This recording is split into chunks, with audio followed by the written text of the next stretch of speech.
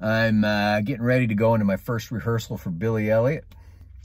Uh, four weeks of rehearsal and then four weeks of shows. Uh, then two weeks after that, uh, it's off to um, New York for the national tour. So this is the uh, Candlelight Pavilion, the dinner theater that I was talking about earlier. It was the the second theater in my my run of theaters right up to the um, pandemic. Um, it was the one that I did Man of La Mancha in, and and then I was supposed to come back after Kinky Boots and do Billy Elliot, and then the uh, pandemic hit and shut everything down. So now we're picking it up again.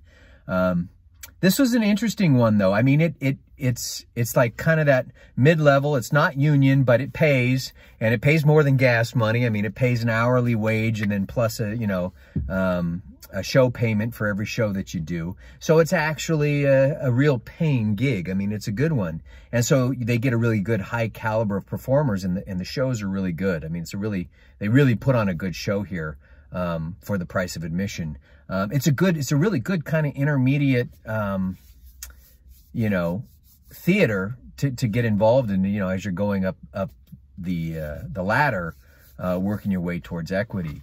Um, and it's it was a really an eye-opening experience for me too during the audition process for La Mancha, um, because uh, I remember coming in, and La Mancha is a show that's you know basically uh, you know character-wise it's about three to one uh, males to females, about three three male characters for every one female character.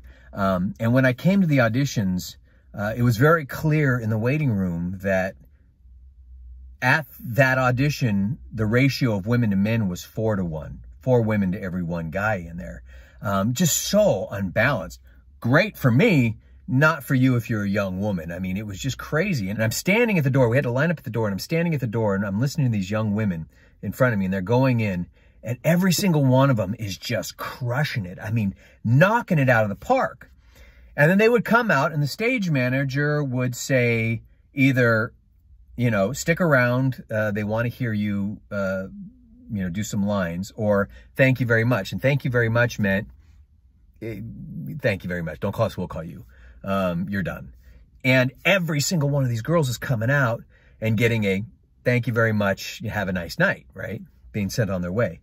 Every guy who comes out, no matter how good or bad he does in there in the song, is being told, stick around. We want to hear you do some lines.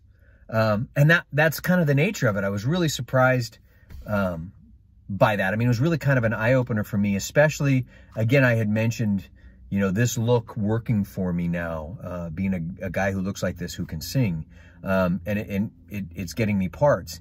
And I felt really bad for a lot of the girls because they are were all so talented, and only a very small number of them um, even got to the point of being able to read. Um, it's it's just crazy. It's crazy. And then you look at the process and coming into the show, um, and I'll show you some of the show too when we get to it, uh, and some of the rehearsal here. It's, uh, I mean, it really, you can really see the caliber of talent and and the competition um, that's out there. I mean, it's it's crazy, uh, and I mean, it really shows.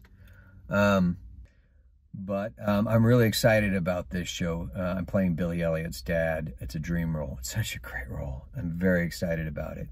Um, and anyway, you know, I'll keep you posted. I'll let you know how it goes.